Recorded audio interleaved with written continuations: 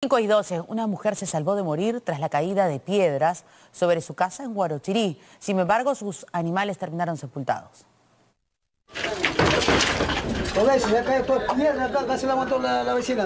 Un bloque de enormes piedras sepultó una parte de la casa de la señora Francisca. Se ha caído un moro, señor, y ha llegado a mí encima una piedra, recién me he despertado.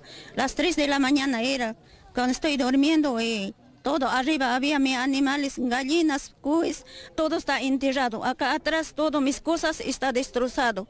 Ella vive sola. Afortunadamente su dormitorio no fue alcanzado por el derrumbe. Más preocupado porque mi casa también no está construido. Estoy en casa de madera, nomás yo vivo. Yo necesito más apoyo, señor. El derrumbe ocurrió en la Asociación de Viviendas Nuevo Amanecer de Mirador, distrito de San Antonio, Guarochirí.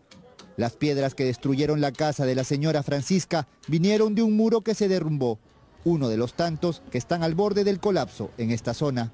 Queremos muro de contención, ya varios años hemos solicitado agua y desagüe, que es lo principal, que es un medio básico para la población, y el apoyo, el apoyo de la municipalidad, ni por la municipalidad de Chosica ni San Antonio nos están dando el apoyo. Lo que pasa es que si no se atiende a tiempo lo que es la construcción de los muros, van a ceder y van a caer a las viviendas y van a ocasionar muertes.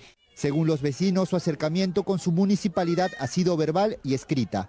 Lo único que han conseguido es que les den 30 bolsas de cemento pero no asesoría de cómo reforzar los muros, ni más materiales, y mucho menos mano de obra especializada. ¿Viven tranquilos, señor?